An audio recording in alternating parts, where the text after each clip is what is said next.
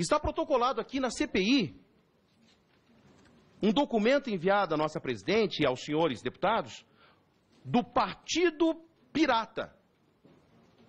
Nós ouvimos o Partido Pirata. O PP é progressista.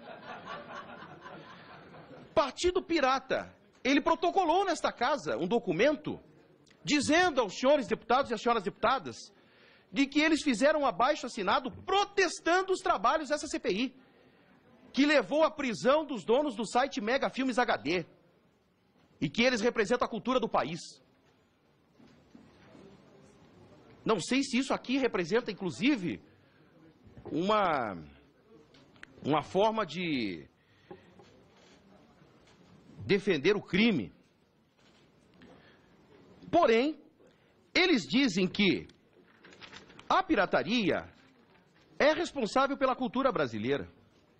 Esta comissão fez uma investigação em sites com conteúdo ilícito e com patrocínio de grandes marcas do Brasil, inclusive do governo federal. E aqui esteve o ministro dizendo que o governo gastou 200 milhões de reais na internet. E o dinheiro do povo brasileiro foi parar aqui, no ilícito.